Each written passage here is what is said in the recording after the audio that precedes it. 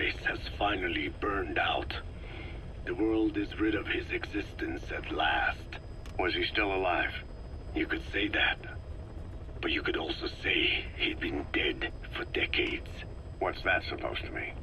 Biologically speaking, it's hard to say how much was his life. Side effects from the treatment? No. The primary effect. Keeping a dying host alive as long as possible.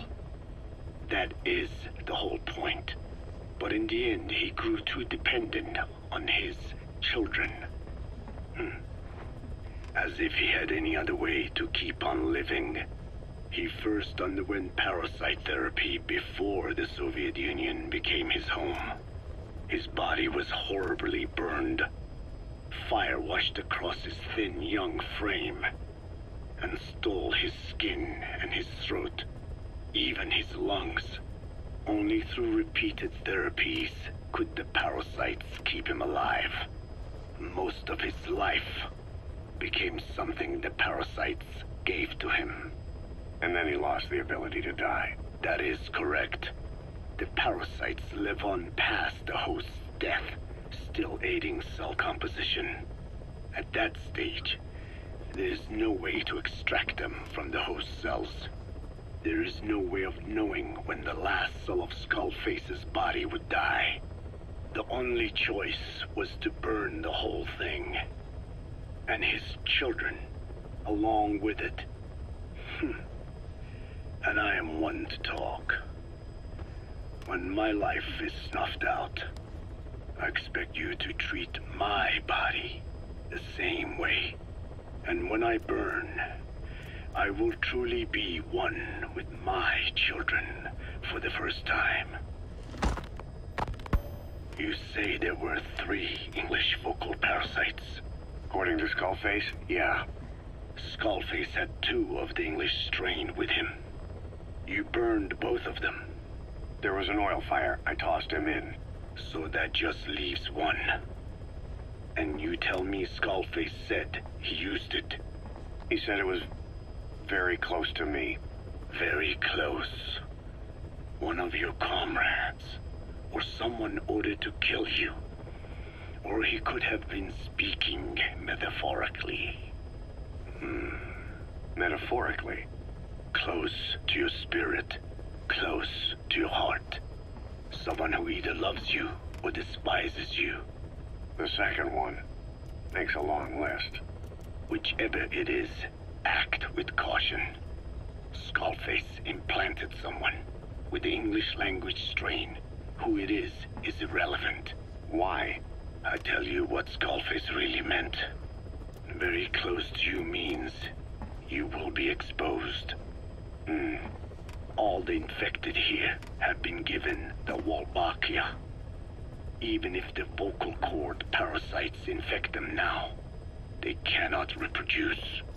But if there's a different host among us, host to the English strain, If that were the case, we'd see the symptoms. what about the non-English speakers?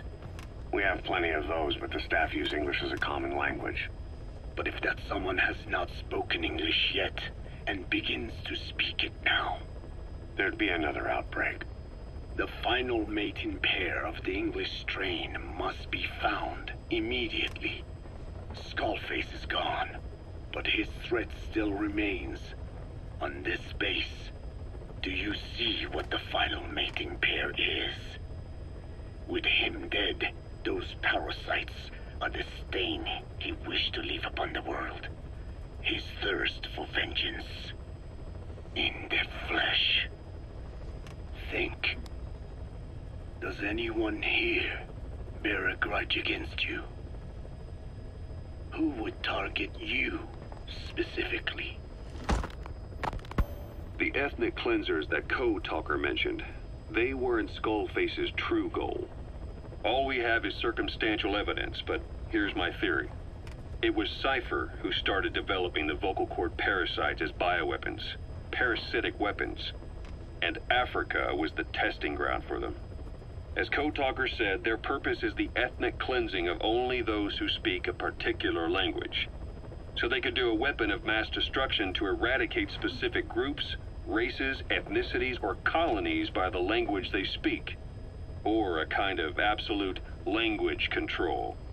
Or maybe a tool for those arrogant fools to build some misguided utopia. I can see plenty of uses for them. However, in practical terms, they wouldn't be as dangerous as you'd think. Counteracting the parasites is easy, after all. Cut them out of your throat to save your life, or just don't talk. That also prevents the infection from spreading. So if the international community were to find out about them, they'd no longer be the threat they were conceived to be. In which case, their targets would be limited to minority groups as a deterrent or a terrorist tool. It's hard to imagine Cypher developing something like that as a main weapon for their arsenal. That leads me to think we've only tugged on one little thread in Cypher's grand tapestry.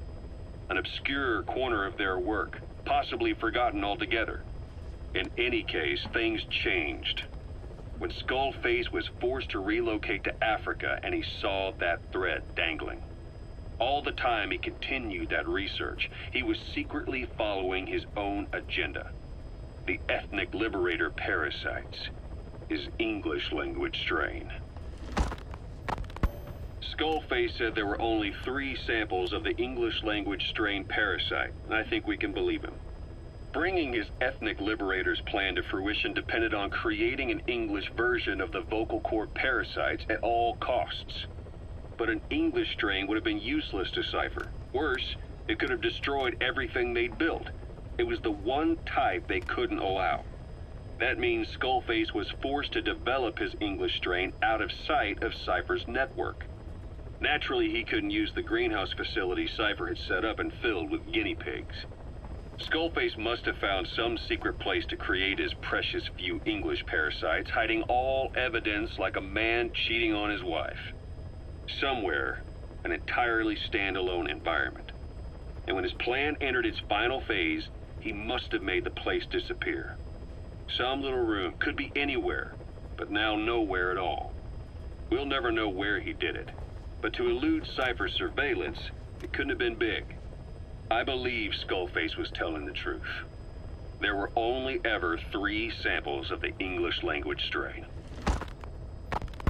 Why activate Sahelanthropus in Afghanistan? This is how Skullface wanted things to play out. The Soviet Union secretly develops a new type of nuclear weapon and successfully deploys it in Afghanistan.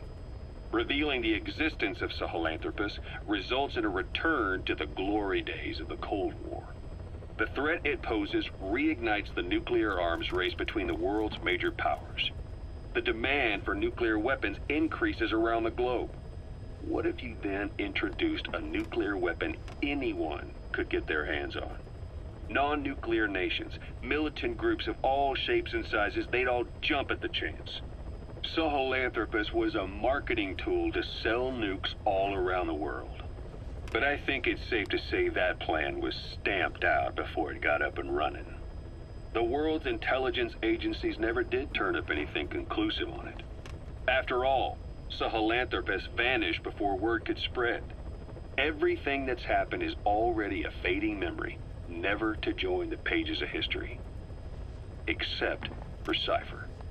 Cypher won't forget. They'll already be working on something, quietly, beneath the surface. They'll use the pieces of data scraped together from this incident to build their own bipedal weapon. It'll take them a long time to complete it, but for now, the greed sector have found their new life's work. We'll have to be ready too.